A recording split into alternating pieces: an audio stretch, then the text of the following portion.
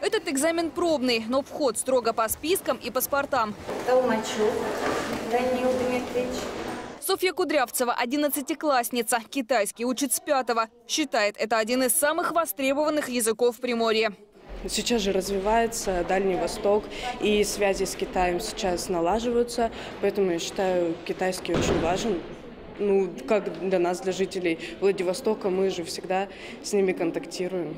ЕГЭ по китайскому проводят впервые в России. В эксперименте принимает участие почти 600 школьников из Владивостока с 8 по 11 класс. Специальную подготовку никто не проходил. Что прислали в конвертах из Москвы – сюрприз даже для учителей. Э, К сожалению, у нас нет одного учебника для школ города. Мы занимаемся по разным учебникам, по разным научным э, пособиям, по учебным пособиям.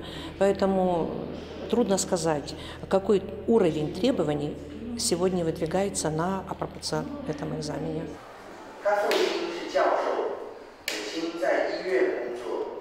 Для ЕГЭ понимать иероглифы мало. Необходимо на китайском говорить. Как и другие иностранные языки, этот сдают в два этапа – письменно и, по желанию, устно.